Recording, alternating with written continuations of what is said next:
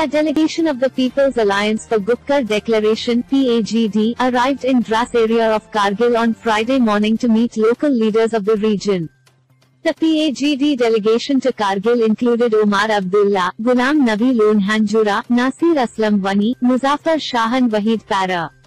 A delegation of People's Alliance for Gupkar Declaration leaders, including Omar Abdullah, Ghulam Nabi Lon Hanjura, Nasir Aslam Wani, Muzaffar Shah Wahid Para, arrives in Dras, Kargil to meet local leaders of the region, news agency ANI tweeted on Friday.